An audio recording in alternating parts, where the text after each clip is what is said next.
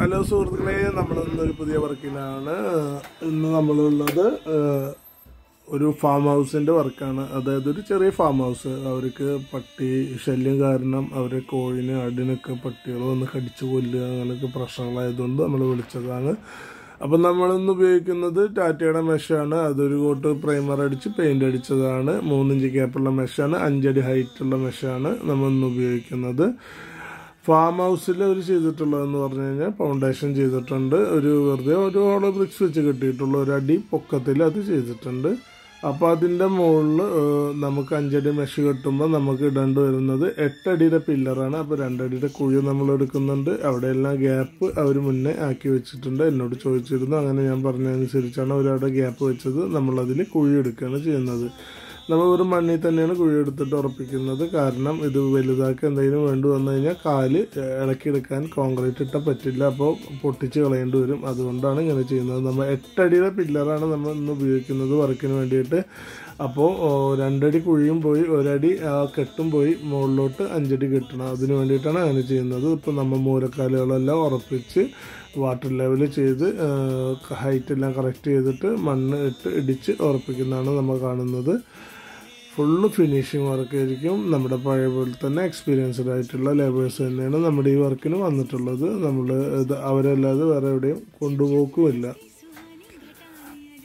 അവർ ചെയ്യുമ്പോൾ നമുക്ക് ആ വർക്ക് പെർഫെക്റ്റ് ആയിരിക്കും. ആ പുതിയ ആൾക്കാർ അങ്ങനത്തെ ആൾക്കാരൊക്കെ നമ്മൾ റെഫർ ചെയ്യാറില്ല. പരമാവധി എക്സ്പീരിയൻസ് ആയിട്ടുള്ള ആൾക്കാരാണ് നമ്മൾ കൊണ്ടുപോകാറുള്ളത്. നമ്മളിപ്പോൾ ഈ സൈറ്റിൽ കമ്പി കാര്യങ്ങളൊക്കെ കെട്ടിയിട്ടുണ്ട്. നമ്മൾ പ്ലെയിൻ വയർ ആദ്യം മൂന്ന് ലൈൻ പ്ലെയിൻ വയർ വലിച്ച് കെട്ടിയിട്ടുണ്ട്. സപ്പോർട്ട് കാലിനെല്ലാം കെട്ടി ഉറപ്പിച്ചിട്ടുണ്ട്. സപ്പോർട്ട് കാലും മൂലക്കാലും കൂടി കൂട്ടി കെട്ടിയിട്ടുണ്ട്. പോസ്റ്റുകളും എല്ലാം കമ്പി കൂട്ടി കെട്ടി ഉറപ്പിച്ച് നിർത്തിയിട്ടുണ്ട്. ഇനി നമുക്ക് മെഷ് നിവർത്താണ് വേണ്ടത്. ഇതിന്റെ ഉള്ളിൽ നമുക്ക് കാണാം. ഫാം ഉണ്ട് കൂടുണ്ട് ഉള്ളിൽ കാലിന്റെ മുകളിലെല്ലാം കെട്ടി നിർത്തിയിട്ടുണ്ട്. നല്ല വൃത്തിയായി തന്നെ ചെയ്തിട്ടുണ്ട്. കെട്ടാനെല്ലാം ടാറ്റയുടെ കമ്പി തന്നെയാണ് ഉപയോഗിച്ചിട്ടുള്ളത്. ലൈൻ വലിച്ചിട്ടുള്ളത് പന്ത്രണ്ട് ഗേജിന്റെ കമ്പിയാണ്. നെറ്റ് പന്ത്രണ്ട് ഗേജിന്റെയാണ് ഉപയോഗിച്ചിട്ടുള്ളത്. മൂന്ന് ഇന്റു മൂന്ന് ഗ്യാപ്പുള്ള മെഷീനാണ് ഉപയോഗിച്ചിട്ടുള്ളത്. അഞ്ചടി ഹൈറ്റ്. അപ്പം നമ്മൾ മെഷ് നിവർത്തിയിട്ടുണ്ട് ഇനി അത് ടൈറ്റ് വലിച്ച് കെട്ടി ഉറപ്പിക്കണം.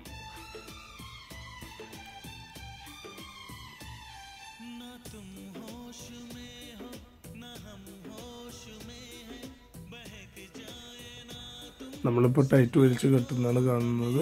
ഫുള്ളായി വലിച്ച് പിടിച്ച് കെട്ടിയാൽ തന്നെയാണ് അത് ലൂസ് വരാതെ നിൽക്കുകയുള്ളൂ.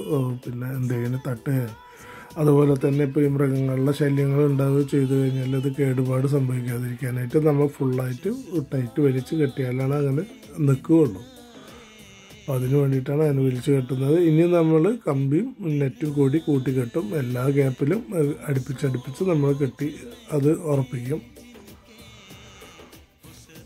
അതാണ് ഇപ്പോൾ നിങ്ങൾ കാണുന്നത്. കമ്പിയും നെറ്റും കൂടി കെട്ടുന്നതാണ് ഇപ്പോൾ കാണുന്നത്. നമ്മുടെ വർക്കിന്റെ ഏകദേശം നിങ്ങൾക്കൊരു ഫിനിഷിങ് മനസ്സിലായിട്ടുണ്ടാവും. ഇതേപോലെയുള്ള വർക്കുകൾ ആവശ്യമുള്ളവർ ഓൾ കേരള നമ്മളെ വിളിക്കാവുന്നതാണ്. അതുപോലെ തന്നെ നമ്മുടെ ചാനൽ ഇഷ്ടപ്പെടുന്നവർ ദയവായിട്ട് ഒന്ന് സബ്സ്ക്രൈബ് ചെയ്യുക.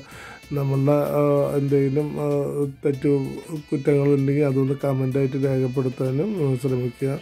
ഇങ്ങനെയുള്ള വീഡിയോകൾ ചെയ്യാനായിട്ട് അതൊരു പ്രചോദനമാവും അപ്പോൾ നിങ്ങളെ കൊണ്ടാവുന്ന ഒരു സഹായമാണ് അത്. അതുപോലെ തന്നെ ഇതും പല ആൾക്കാർക്കും കാണുന്നില്ല എന്നുള്ളൊരു പരാതി ഉണ്ട് അപ്പോൾ അറിയുന്നവർ ഷെയർ ചെയ്ത് കൊടുക്കുക. അവർക്ക് ആവശ്യമുണ്ടെങ്കിൽ ഷെയർ ചെയ്ത് കൊടുക്കുക.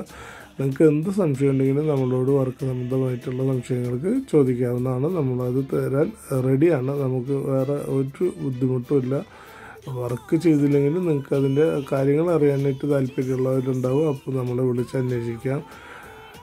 പിന്നെ ഇത് ചെയ്യുമ്പോൾ എന്ന് പറഞ്ഞു കഴിഞ്ഞാൽ പട്ടികൾ ഒരിക്കലും മെഷ് കട്ട് ചെയ്ത് കയറില്ല നേരെ മറിച്ച് മതിലാണെങ്കിൽ ചാടി കയറും പക്ഷെ ഇത് മതിൽ അല്ലാത്ത വല ആയതുകൊണ്ട് ചാടി കയറില്ല നമ്മൾ ഡോഗ് ഫാമിന് ചെയ്യുന്ന അതേ വർക്ക് തന്നെയാണ് ഇവിടെ ചെയ്തിട്ടുള്ളത്. ഡോഗ് ഫാമിന് നിങ്ങൾക്ക് അറിയാമല്ലോ രാജപ്പാളയം പോലത്തെ ഡോഗുകളെ വരെ ഇങ്ങനത്തെ മെഷീന്റെ ഉള്ളിൽ ഇട്ട് കഴിഞ്ഞാൽ പുറത്തിട്ട് ചാടിപ്പോയിട്ടില്ല. അപ്പോൾ ആ ഒരു ഉറപ്പ് നമുക്കുണ്ട്. നമ്മൾ ഗേറ്റും പ്രൊവൈഡ് ചെയ്തിട്ടുണ്ട് ഇവിടെ. അതിന്റെ മുകളിലും നമ്മൾ നെറ്റ് കെട്ടി കൊടുത്തിട്ടുണ്ട്.